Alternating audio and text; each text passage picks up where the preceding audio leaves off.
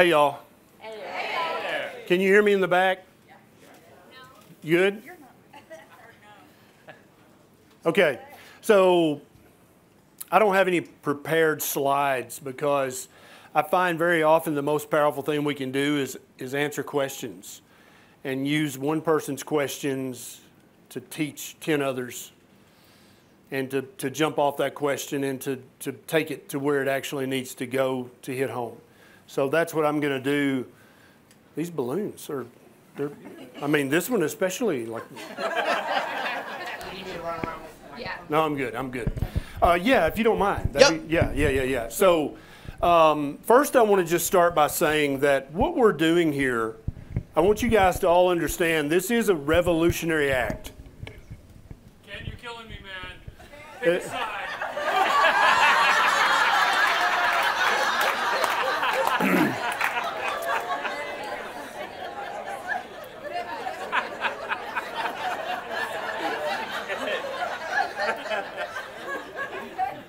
I was specifically asked by two women in, in the audience to walk around a lot. so I don't know what to do. I'll, I'll, I'll stay here-ish. How's that? Here-ish. Uh, listen to me carefully. What you're doing is a revolutionary act. Being here, thinking like this, eating like this. You understand that it goes 100% against the grain of what we've all been taught in modern society. Have we been taught this or indoctrinated? Those words are sort of interchangeable. Uh, if, if your grandmother and your mother taught you to eat the old way, the way that made you sick, then that's that you learned it. But if you learned it from television commercials and magazine ads and celebrity spokesmen, including Tony the Tiger and the three little are they leprechauns? Whatever they are, yeah. That's who that's who taught me how to eat, watching Saturday morning cartoons, right? I was indoctrinated to think that that stuff was first of all food, right? Because I feel like most people in this room have a different definition of the word food than most people walking the streets, don't we? We've had the realization that the word food is not just some slang term you throw around. You know, I mean, if, if I handed you a dog turd and said, Here, this is food, every human would know to, that's suspect. That's not food. But if I handed you a bowl of Lucky Charms and said, Here, this is food, everybody in this room would go, No. But how many people out there in the world would say, Oh, okay, yeah, food, eat that? How many of your children would be deluded by that? How many of your grandchildren? Your nieces and nephews? How many of them would blindly believe that? Yeah, I saw it on TV, it must be food. Billion dollar corporations have a sneaky way of not selling you things that will kill you acutely. They know better than that. Their attorneys have counseled with the board of directors and said, if you, you know, if you feed people stuff and they die soon, an attorney will be able to take that case and then you'll have to write a big check. But if the food that you sell people, if it kills them slowly over 20, 30, 40 years, not just kills them literally, kills their life, but kills their health, kills their happiness, bottom, bottoms out their testosterone levels, causes autoimmune conditions, but it does it very, very slowly. An attorney's going to be hard pressed to win that case. Oh, oh, we, they killed you over 25 years? Come on. Right? That sounds crazy in modern society, but we know in this room that's exactly what's happening to the people that we care about each and every day. Isn't it? In the United States of America, we believe that certain that people have unalienable rights, inalienable, inalienable, however you want to pronounce it. I think it means something if you pronounce it properly. It means more. Okay? Would you, we have the right to free speech. We have the right to protect ourselves. We have the right to, to be in privacy of our own home. Would you also think that it should be a human right to have real food? Yeah, you do? I don't know. Do you? Yeah. We should be able to choose the food. Yeah, yeah, and, and so we we first have to know what's real food. You guys got that. Now, how many folks out there in the world who live in your neighborhood or in your under your roof or next door don't know the definition of food? Too many. Too many? Can they do so then how can they even know that they have a right to real food if if you haven't taught them yet what real food is? They don't want to know. Are you sure? I was just gonna say that. Some don't want to know. Yeah, I bet the vast majority do want to know. They may not know that they want to know, but they want to know. They want to know. And so uh, I want all you guys, if I've helped your health in any way, I want you to pay me back. And I want you to do that by picking someone that you care very much about.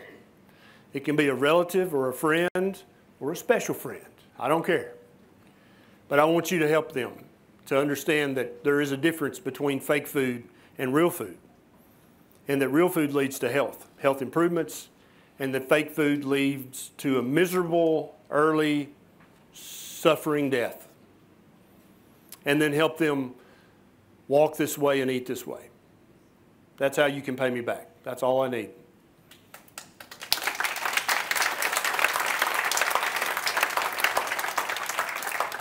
Now, I'd like to reserve the rest of the time without objection to answering your questions because uh, very often people are like, Yeah, I'm totally on board with keto. It sounds like it's awesome. All these people, it's transformed their life, but I've got fill in the blank. Can I do keto if I have fill in the blank? Or if I take fill in the blank? Or fill in the blank? So let's, let's take questions from the audience. And Joe's going to come around with the microphone so that we can, everybody can hear the question. You do one first, Mr. Joe, and then I'll, I'll take one from All over right. this side. Thank you. I had one question, burning question I wanted answered on the cruise. Um, so I've lost 100 pounds and, re- and gotten metabolically healthy. Huzzah! Yeah, yeah.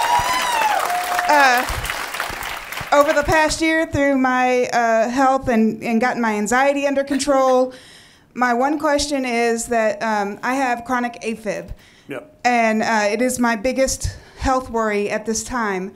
What can you help uh, tell me to help me control that? Because that's my biggest fear is AFib. Yep, got it. And we actually just had another AFib question in the back before I started. It's very common. As you get older, AFib becomes more and more likely to happen, and that's where the top part of the heart stops beating regularly and it becomes irregularly irregular. Yeah, that's exactly what it does. And so it typically comes, is yours all the time or does it come in episodes? Because the other ladies, hers would come in episodes. You, you just have AFib. So there's, first of all, multiple reasons you might have AFib. You might have had a tiny infarct in the area around the SA node, and so you just it's just not firing properly. Sometimes you can have an aberrant tract that's sending a false second electrical signal. That that can be surgically corrected sometimes, and sometimes you just got AFib. Okay, but the thing, and so this also applies to anybody in the room with any heart condition whatsoever. Cardiac cells are striated muscle. They're cardiac muscle cells. They actually function more efficiently on ketones than they do on glucose. This, this matters in congestive heart failure, any kind of heart failure, cardiomyopathy, any weakening of the heart. The heart is going to pump more efficiently and more thoroughly and more forcefully on ketones than it is on glucose. And so if you're eating the standard American trash, you're going to be a sugar burner and you're, you're gonna, your heart is not going to beat as efficiently as if you are in ketosis, some degree of ketosis, and able to use the ketones as fuel for the cardiac muscle cells. And that goes for AFib as well. Most people have episodic AFib, and what they notice as they get into ketosis is that, that the AFib, the episodes are less frequent, they're less severe, and they don't last as long. And uh, chronic AFib is, is, especially at your age, is a, is a much more rare condition. And I, I, I definitely, your, your heart's going to beat more efficiently on ketones. Absolutely. I, I don't even hesitate to tell you that. But you may still, you may be one of those very few people who are still stuck taking one or two medications to keep the rhythm controlled and not be irregularly irregular. Yep, okay. Do we have a question on this side? Uh, Thank you, Dr. Berry. Um, Last October, uh, I was doing, sorry. There you go. Uh, Last October, I had been doing keto for about two and a half years, and I had a minor heart attack. And the doctor pretty much convinced me that it was keto that, that caused it. Got put on all the medication that I had worked hard to get off of, like uh, the statins, the blood pressure medicines, and so on and so forth. So, what do you say to your new cardiologist and your doctor, you know, your family doctor for the past 20 years that, you know, they, you told them that you were doing keto and they say it's a mistake, you shouldn't be eating all this high fat food and everything. And then you go and you have a heart attack, and the doctor's like, I told you so. You, you shouldn't have done this. So, uh, great question. So, first of all, what, let's define keto because defining words is very important to make sure we're using the same word. A keto diet is half your plate full of fatty meat and eggs with the yolk, half your plate covered with low carb veggies, a few nuts, and a few berries. Everybody roughly agree that's keto, right?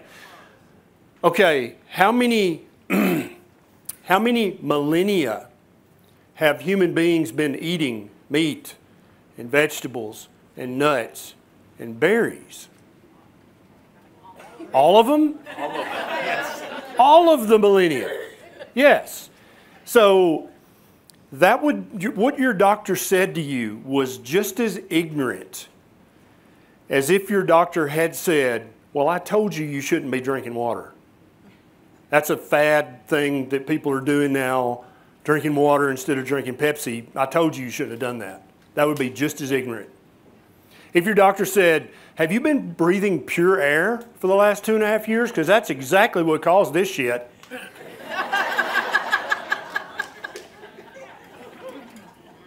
Did you get me? We have humans have literally been eating meat and veg and a few nuts and a few berries just as long as we've been breathing air and drinking water and playing in the sun and pooping in the woods. the entire time. That is, that is the proper human diet. That's it. So we've only been eating grains for about 10, 11, 12,000 years, right? We've only been eating vegetable seed oils, vegetable oil, for about 100, 120 years. But yet they're healthier.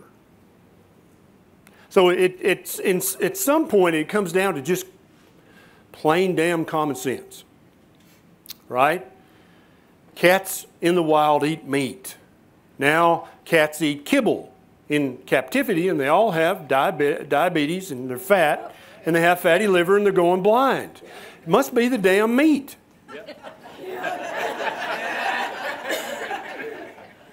Does that, does that make sense? And so your doctor's currently ignorant. I'm sure your doctor means well. But there's this thing I called I call islands of ignorance, and we all have them. I have islands of ignorance where Chris Bayer could say something to me, and I'd be like, "Shit, I didn't know that." We all have that, but some doctors don't have the honesty to say, "Shit, I didn't know that." Okay, So you're, choi- you're faced with a choice. Either change your doctor's mind with your continued existence as evidence or change your doctor. But eating a proper human diet, there, there literally is no side effect of that except increasing the quality of your health and the length of your lifespan. That's all it's going to do to you. It, it, it, it's just logically impossible that it would do anything else. Well, it- it's not gonna cause a heart attack in in the last four years. Exactly. And so now, what if our friend here, what if he had been eating, how old are you? I'm 53. 53. He's a young punk. What if he had been eating keto for 47 years and then started eating this high, highly processed grain standard American diet?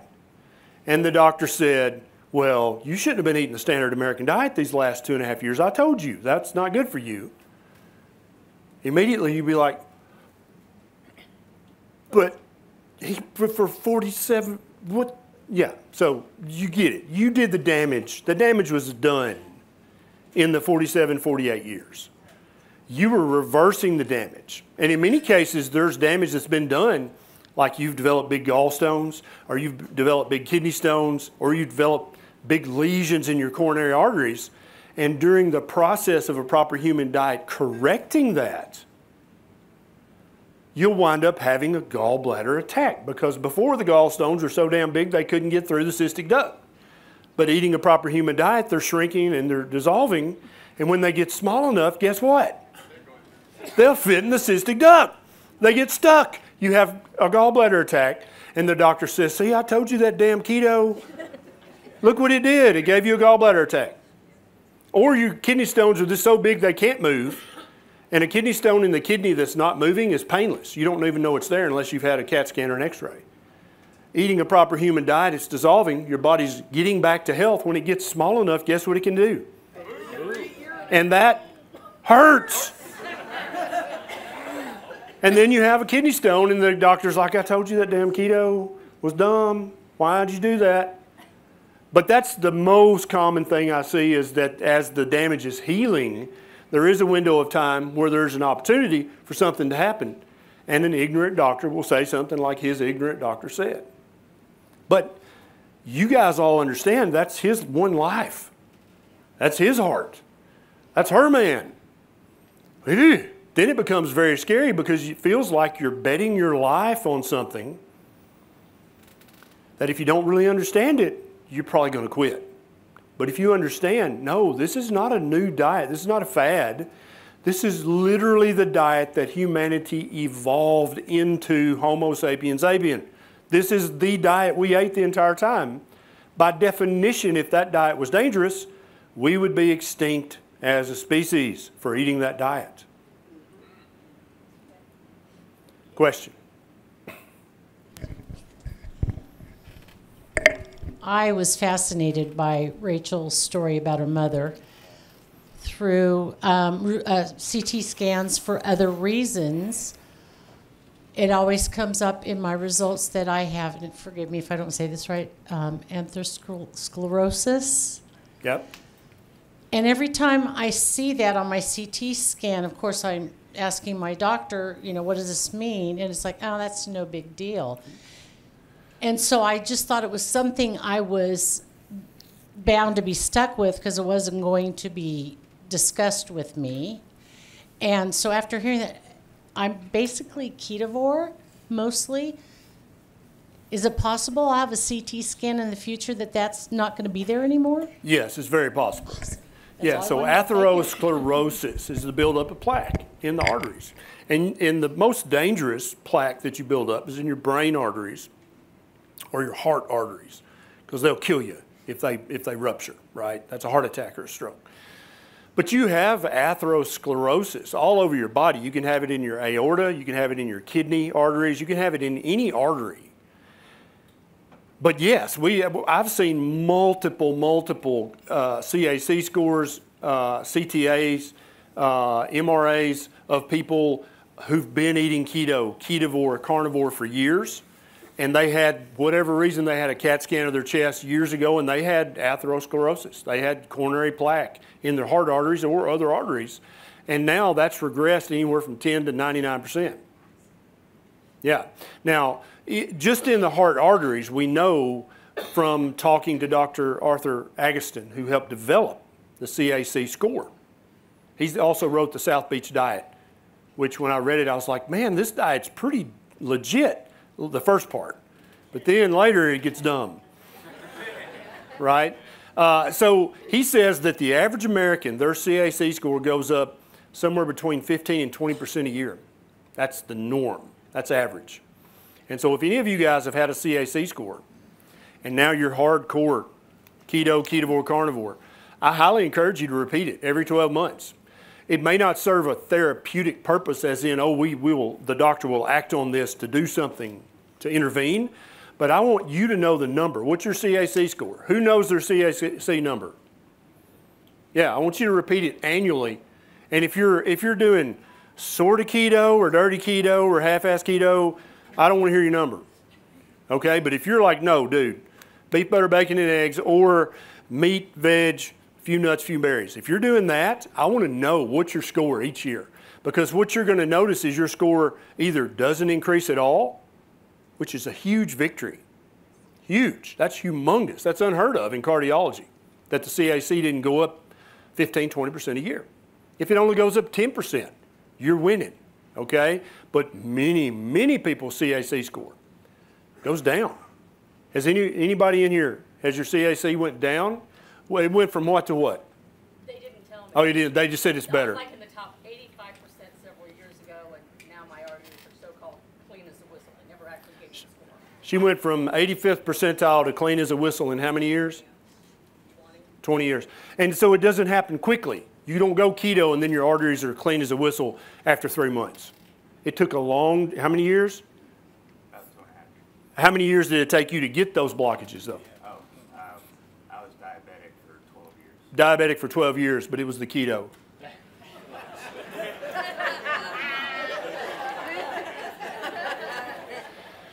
Doctors, listen to me carefully. This is very important. If you don't remember anything else from this conference, I want you to remember this. Doctors are just dudes and chicks, just like you. They are susceptible to every fallacy, every logical, uh, illogical argument, every failure of human nature. They are just as susceptible as you are. And in some of the logical fallacies, they're actually, the more educated you are, the more likely you are to fall for certain of the logical fallacies. Okay? So I'm, I, I want you to look at your doctor as a, as a learned health partner, because that's what they should be. They are not your doctor daddy or your medical boss. You are, it is your right to say, well, wait, I've got a few questions about that. And if you have to, get in between the doctor and the door. Seriously. Did you pay your copay? Then his ass needs to sit down until you're done asking questions. Unless he wants to give you 10 or 15 bucks back.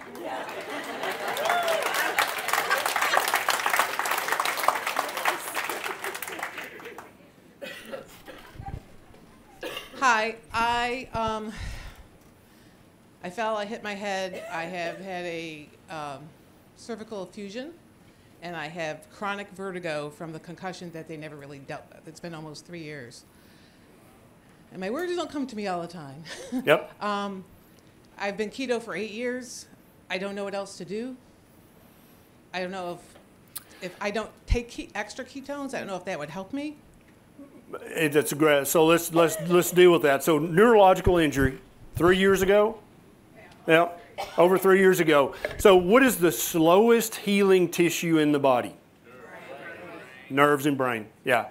So uh, many people who've had a, a devastating neurological injury, uh, I would tell them in the clinic, look, you don't, you do not give up hope until it's been anywhere from six months to 36 months the brain, the nerves can do magical things, but they do it in slow motion. Very, very slow. Uh, I, that was back 20 years ago, I used to say that. Now I would say, I don't want you to give up hope until it's been 10 years after the injury, with you pushing yourself to use those words, pushing yourself to do things that, that are just a little outside your comfort zone. Okay? You get smarter by learning. Learning doesn't just happen effortlessly. Ask Beckett Berry, he'll tell you. you gotta you gotta shut up and listen and then try to remember you can't be picking your nose and playing with your sister just it doesn't work and so neurological tissue only Im- heals and improves and expands grows gets smarter under stress but it can't be too much stress right so i want you to never never give up until it's been a decade since the injury keep pushing keep trying keep doing a little bit more than you think you can with with always with safety in mind, right? But I would not give up hope. No, I would not. But the only other thing I would say that you might get you in a little deeper ketosis and might get you a more nutrient dense diet to feed those neurons, to feed everything that's trying to regrow, is to cut the carbs even more and to cut the potentially inflammatory plant toxins even more. I would try 90, 120, 180 days of carnivore, beef, butter, bacon, and eggs as I'm, but that's not going to fix it. That's just going to give you the building tools to potentially fix it. What's going to fix it is you not giving up. You getting off your ass, out of that chair, going for that walk that you're like, I don't know, getting up and talking in front of people like you just did.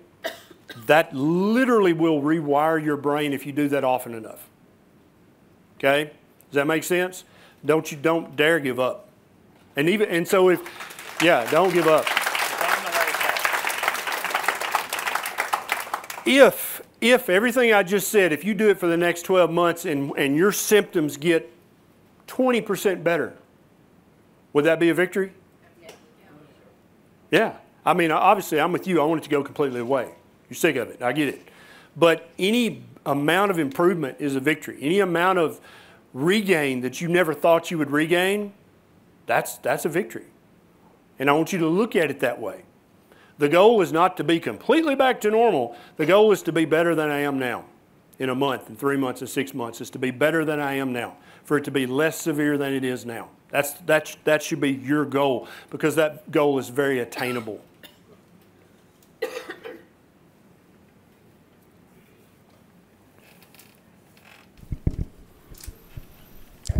So I've been taking a proton pump inhibitor like Nexium or Prilosec for about 25 years. Yeah. And I found you about three years ago on YouTube and started watching you and, and watched your video about using uh, apple cider vinegar.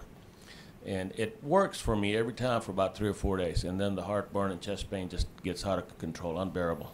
Yeah. Do you, have, do you have any other strategies? Yeah, so you were taking a, which one? Prevacid, Nexium, Prilosec. Prilosec? Prilosec. So he was taking Prilosec every day for years. And I used to take two Nexium a day back when I was really fat and ignorant. I got all the Nexium samples when the drug rep came. My patients did not get any of those. I, I got them all. I took two a day for years. Now I know that that was stupid of me to do that because I was increasing my risk of multiple long term medical complications taking that, right? Because you're supposed to have a very acidic stomach. So he now can take apple cider vinegar and it gives him about three days of relief plus a proper human diet, right? Keto, keto, ketovore, carnivore, what are you doing? Ketovore. Okay, beautiful. Yeah.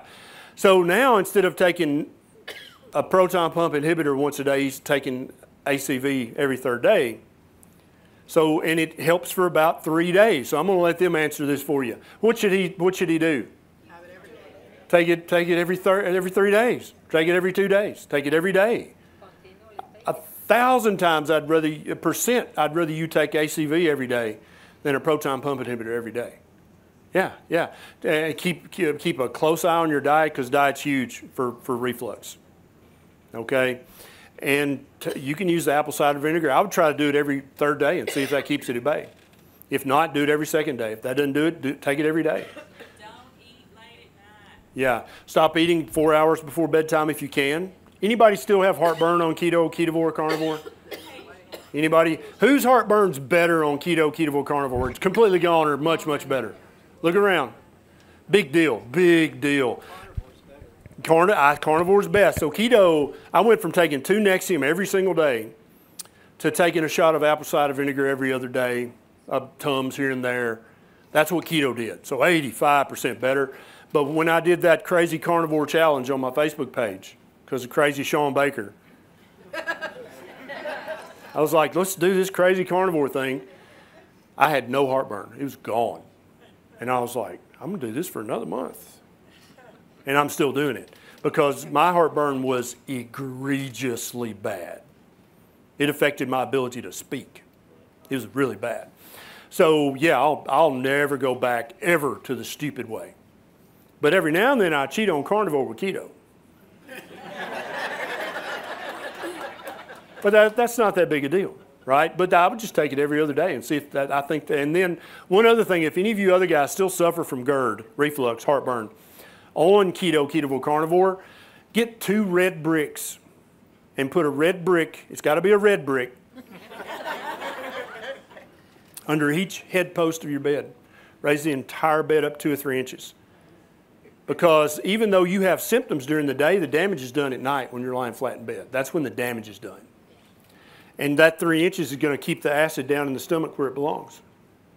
So your esophagus can heal for more hours a day than it would be able to heal otherwise. And for like literally, I don't know of a human who's done the red brick under the head post plus either keto, keto, or carnivore and still has any degree of heartburn whatsoever. Those two things, I mean, gravity, that's a law, right? gravity and the proper human diet. Literally, what can beat that? They both win every time. I have a hiatal hernia. I have, I have not taken anything for heartburn in two and a half years. Yes, and I have a mine's substantial, and I, I used to shoot X-rays in my clinic, and I read them because I was an X-ray tech before I was a doctor.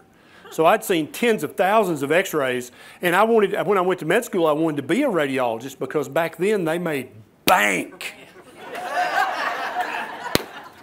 bank like a half million dollars a year for sitting on their ass looking at pictures. and then, and then TennCare came along, Medicaid, and now radiologists. Yeah, poor guys. Poor guys. But so I had had tons of experience reading X-rays, and and, and uh, doctors are uh, even primary care. They are licensed to read X-rays, and so I had a radiologist that would overread. If I was like, shit, I don't know about this one, I would send it to him, and that happened about once a year.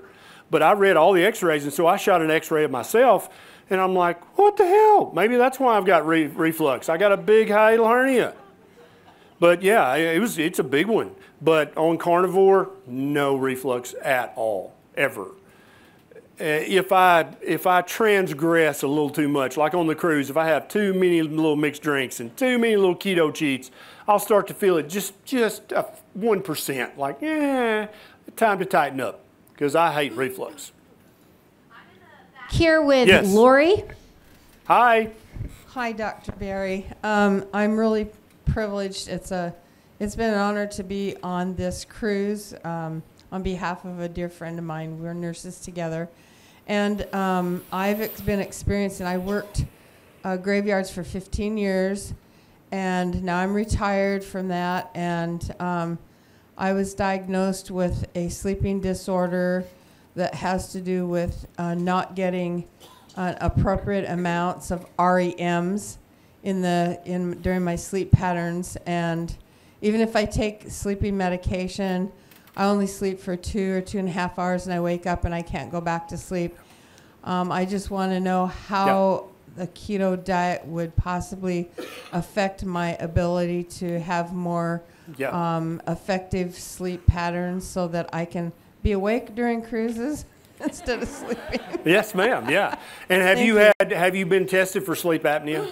Yes, I spent three days in the hospital. Um, And do you have in a, it? In a program, they said no, I did not have Okay. sleep apnea. I had what they called uh, events, and I'd wake up. The one night that they had me strapped in with a million wires on my head, I woke up 32 times, and half of those times I woke up crying. And they said they're not sure what it was, so they sent me to another a specialist who interpreted that, and he said it has to do with your REMs. You don't have enough REMs. Yeah. Um, and you, you work graveyard shift how many decades? for 15 years 15 as years, a nurse. Yeah. Yeah. Yeah, yeah. So, first of all, sleep. Any doctor who tells you that they understand everything there is to know about sleep is full of shit. Okay? Sleep is super complicated. We've only scratched the surface. Uh, when I was a young punk, I was like, why do I got to sleep eight hours every night? What a waste of time. And it, I heard it. I heard it said just a few months ago. I was listening to a book on Audible, and an anthropologist said, "Sleep is one of the very few behaviors that no animal has ever evolved out of." And thinking about think about sleeping 10,000, 20,000, 50,000 years ago. Hey, let's just all lay down in the middle of the night and become unconscious for eight hours. That sounds like great strategy to get your ass eaten.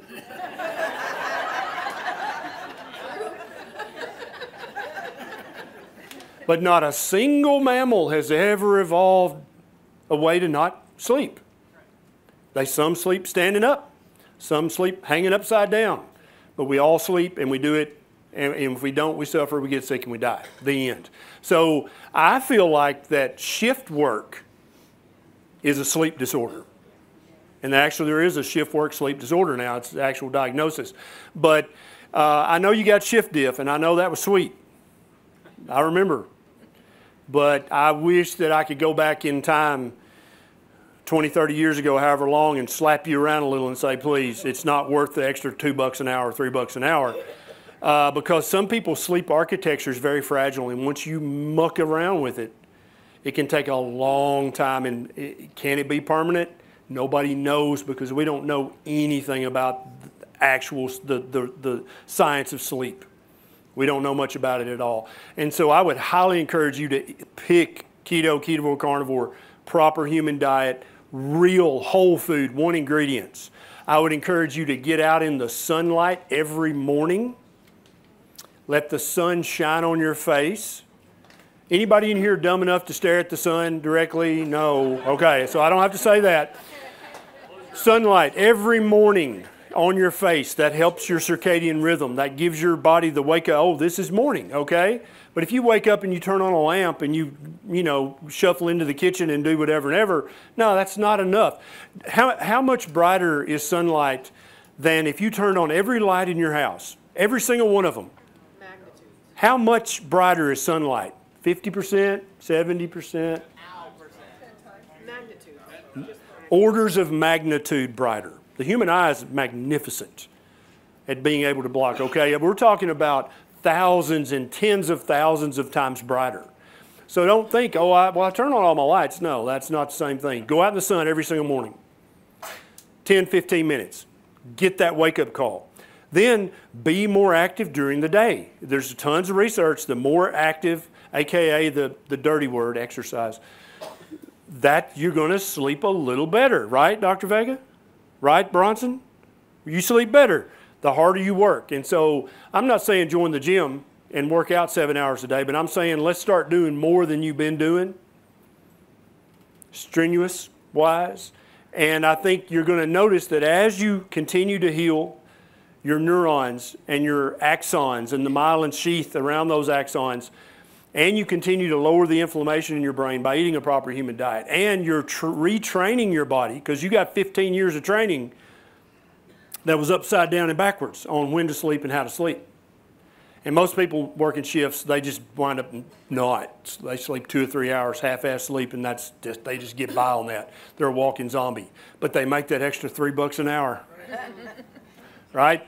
I hope that helps, and I'm happy to talk about you later because it's a very complex, uh, big subject. Who else? Hi, Dr. Berry. Hi. I have been some degree of keto, proper human diet. I've gone all the way down to beef and salt Mm. at different periods. No coffee, with coffee. Yep. Keto chow in my coffee is probably my favorite. That's but, Um, um, I had that dip in pain and inflammation after several months of being keto consistently Yep. for a while, but it went for a little while and now it's coming back up. All my itises are coming back. My sinusitis, mm. my dermatitis, my bursitis, my arthritis. Everything is Yeah. getting worse and I have the stiffness and the inflammation again and I don't know what to do. I often find that the answer to a person's question is actually included in the question that they ask.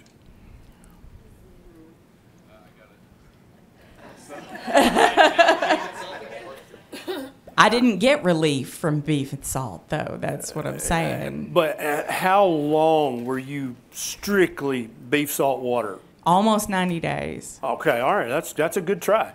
So, the vast majority of people who have aches, pain, stiffness, uh, whether that comes with a formal diagnosis or not, the vast majority of people get improvement. And you had some improvement that seemed to stutter around, but it didn't stick, is what you're saying. Right. Yeah. Now, so there are medical conditions that even if you eat a perfect human diet, you're still going to have that condition. You're still going to have those symptoms. But the vast majority of people, the symptoms get better and they stay better as long as they be- behave. And so, what I would say is you probably have an undiagnosed medical condition. And we see this very commonly. That's why Kim Howard and I wrote the lab book, is mm-hmm. because the, the, the incidence of undiagnosed hypothyroidism is huge huge. And so, unless you've had the full thyroid panel that we talk about in the book, you don't know if you have hypothyroidism or not. Unless you've had your the complete sex hormone panel checked, you don't know if you have low testosterone or low progesterone. I got All- those done. I just I couldn't interpret the I got you. hormone. Well, you need the myself. book. You need the book then, don't you? but or get with me later if you've got your labs. We'll, we'll look at them. But the, the the problem is is so many doctors are so busy trying to get you in and out that they forget what it means to be a doctor. Yeah. And so you wind up basically getting half-assed, although you paid the full copay, didn't you? Y'all might want to start negotiating with your doctor and say, you know, I felt like I got a half-ass answer from you. Can I get half my copay back? but I, I would encourage you to get the full lab panel and to, if you haven't already started exploring with specialists, you probably need to go see rheumatology, maybe neurology, and not just seeing your primary care doctor or an OBGYN. You probably need to go and say, look, I've fixed everything and I'm still having these symptoms. What have we missed here? And the average specialist, if you put it that way, what has my doctor missed here? Think about that if you're the specialist. You're like, well, my God. Let's just find out here what's been missed, right? And I'm just the guy to do it. Yeah. So I would approach it like that. And definitely, are you? Is it going to harm you to eat a proper human diet? No. Is it going to prevent you from developing things in the future? Yes. So definitely continue to eat a proper human diet. But your, I I feel like your medical investigation is not complete yet. Okay. There's probably something missing. You've got something that you don't know you've got, more than likely. I'm afraid of that too. Yeah, that's what it sounds like. I think we have uh, time for one more. All right. Okay, um, I've been ketovore since, or for about a year and a half now. Um, pretty much have gotten everything better except my varicose veins, spider veins. Yep. Very achy. Yep. Hurts all the time. What can I do? Yeah. So vascular tissue also heals very slowly. And once a valve in a vein has been compromised, or once the wall of a vein has been compromised, I have not seen a lot of people with, uh, especially we call them the ropes, right? The bigger varicose veins. I have not gotten feedback, and I get feedback from thousands of people, and I don't get feedback saying they're gone. Now I do get feedback saying spider veins are much less noticeable, much smaller, or completely gone. I hear that a lot. But the big veins, you're going to have to go to the vascular surgeon for just a, it's a very simple, minor procedure. They do it all the time. But for the big ropey varicosities, you're going to have to probably have those fixed. surgically. And when I say surgically, that sounds bad, but it's, it's not surgery. It's a minor procedure that they can go in and fix that. But there's just been too much damage done to that vein. Does that make sense? All right. Let me, let me, I want to just ask you guys a few questions, and I, I want you to just think about the answers inside your own head. If a kindergarten child has a, is a child of a single mother, and she's working two jobs, and that, so that child goes to preschool, goes to daycare, then to kindergarten, and is fed food that, that, that complies with the USDA guidelines. Is that child abuse? Yes.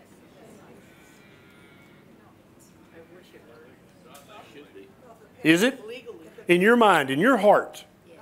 Is that child abuse? Uh, yeah, so if, if, if, yeah, it's not deliberate, Chris Bear says, and I agree, uh, but is it still abusive? Yeah. What about if, if your grandparents or your aunt or uncle's in the nursing home? And not only are they fed according to the USDA guidelines, have you guys ever seen a nursing home meal? Is that elder abuse? So, if you believe those things in your heart and you know these things in your mind, should you be doing something about that? However big or however small the action that you can have, whether it makes a big difference or a tiny difference, should you be thinking about that sort of thing and working on that sort of thing? Thank you.